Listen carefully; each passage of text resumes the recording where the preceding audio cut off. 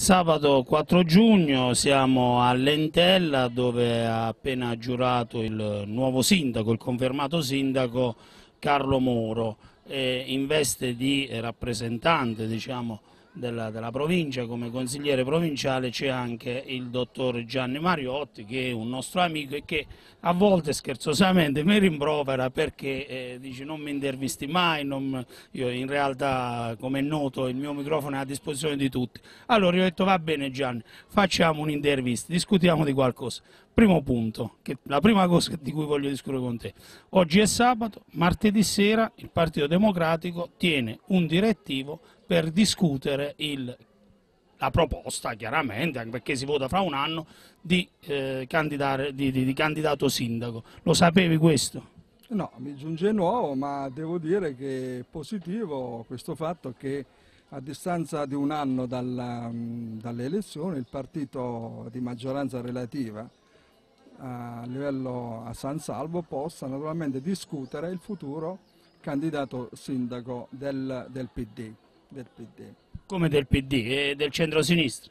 Ah, vabbè, il centro-sinistra naturalmente tu sai benissimo che il centro-sinistra ha, ha, optato, eh, soprattutto eh, dove eh, il sindaco ehm, finisce i suoi due mandati, diciamo che ha optato, se non si trova un, uh, un comune denominatore, il fatto di andare a delle primarie di coalizione.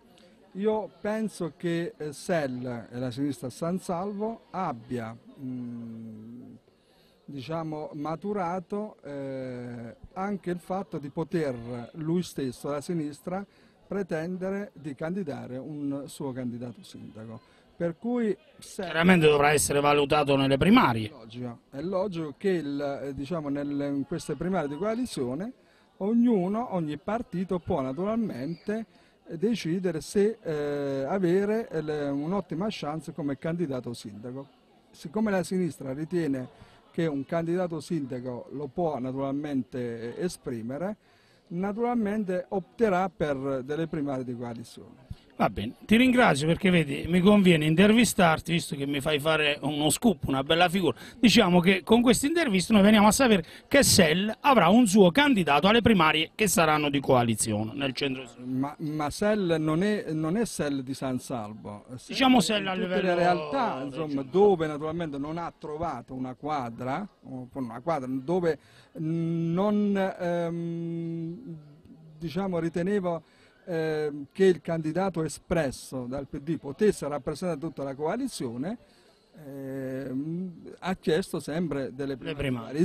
Come naturalmente tu mi stai dicendo che loro decideranno un anno, naturalmente noi valuteremo il, il, loro candidato, ma eh, anticipatamente ti posso dire... Dire che ci sarà uno di voi, sarai tu il candidato di sé? No, no, questo non... Eh, è presto? No, è presto per dire perché insomma noi democraticamente anche noi abbiamo insomma, gli organismi, gli organismi nei quali decidere chi sarà il chi potrebbe essere il candidato sindaco di, di un'eventuale primaria di coalizione. Senti, mm, continuiamo questo discorso delle primarie che, che, mi piace ed è utile, analizzando il voto che c'è stato. Ora, il centrosinistra è notorio, ha vinto, anzi ha stravinto le elezioni che si sono appena svolte, proprio con questo sistema delle primarie, laddove ha individuato i candidati migliori e soprattutto ha risolto i problemi interni. Come è noto tutti i problemi che c'erano a Vasto tra Forte e La Penna si sono rivolti,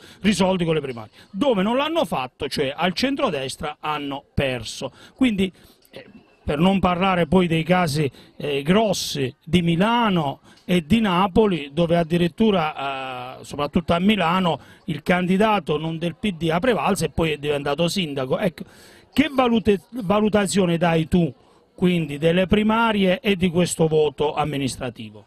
Vabbè, le primarie secondo me sono un atto di democrazia. Diciamo eh, un atto di democrazia in cui naturalmente il candidato non si decide nelle segrete stanze, ma si dà la possibilità al, alla gente di decidere chi naturalmente possa rappresentare al meglio le, diciamo, i loro problemi reali. Io credo che ehm, le primarie siano ehm, un, un, fatto ma, ma, molto molto positivo, tant'è che, tanto che, che il PDL vuole adottare eh, diciamo, e farebbe bene. Farebbe bene perché insomma se, se andrebbe ad una, anche da parte del, diciamo, de, di questo centrodestra, ad una mh, diciamo, vera e propria de, eh, democrazia nella scelta dei, proprio, de, dei, propri dirigenti, perché fino adesso c'è stato insomma, un, um, un, partito eh, egemone di una persona, questo non, non, lo possiamo negare. E naturalmente la gente ha dato un segnale molto, molto chiaro in quelle realtà in cui naturalmente non credeva che né il PD né il PDL potesse più rappresentare i loro interessi. Quindi ecco perché l'ascesa di Pisapia, ecco perché la vittoria di Zedda eh, a Cagliari, perché il, la gente ha dato un segnale molto, molto chiaro.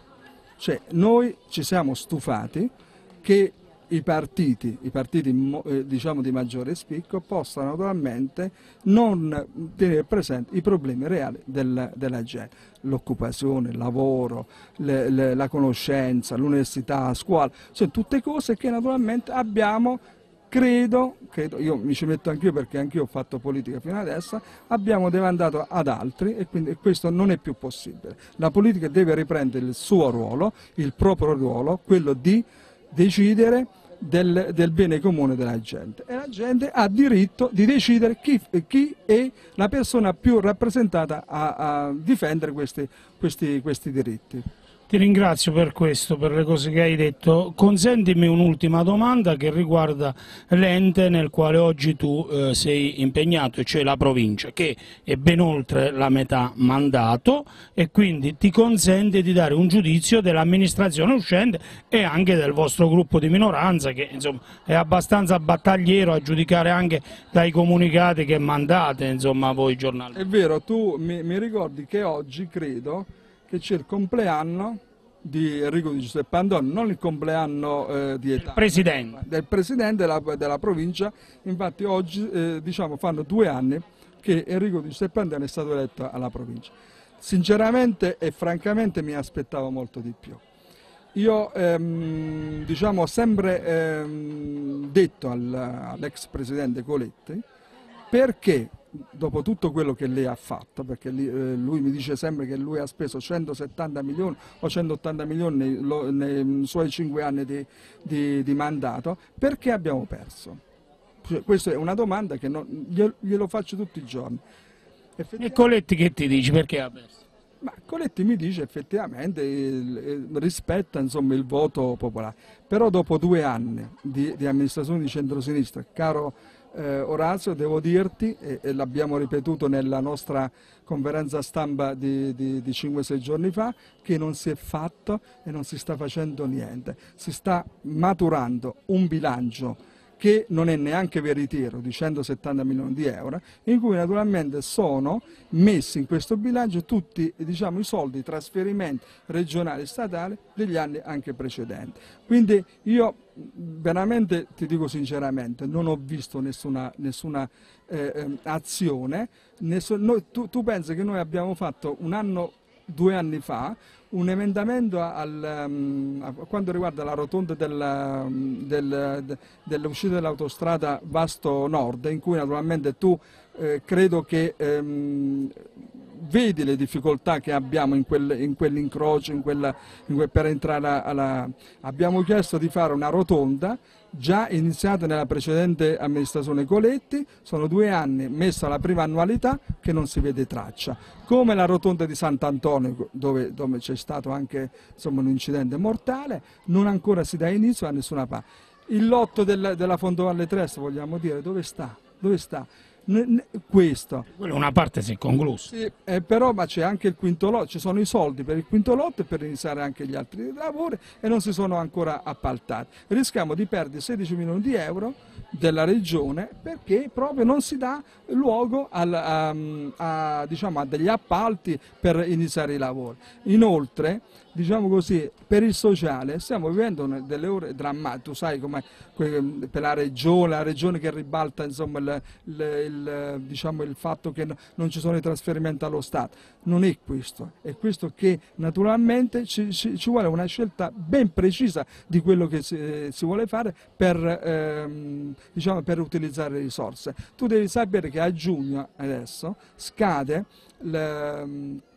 il, contratto che eh, la provincia da sé ehm, utilizzava, utilizzava dei fondi propri, 150.000 euro o 200.000 euro, non so ehm, eh, diciamo la data, la, la, la, il saldo eh, esatto, ehm, eh, finisce per quanto riguarda l'assistenza disabile, extrascolastica ai disabili. Questo è un fatto molto grave. Vuol dire che fra un po' questi si ritroveranno senza assistenza extrascolastica. Nel turismo neanche una, un, un, un soldo.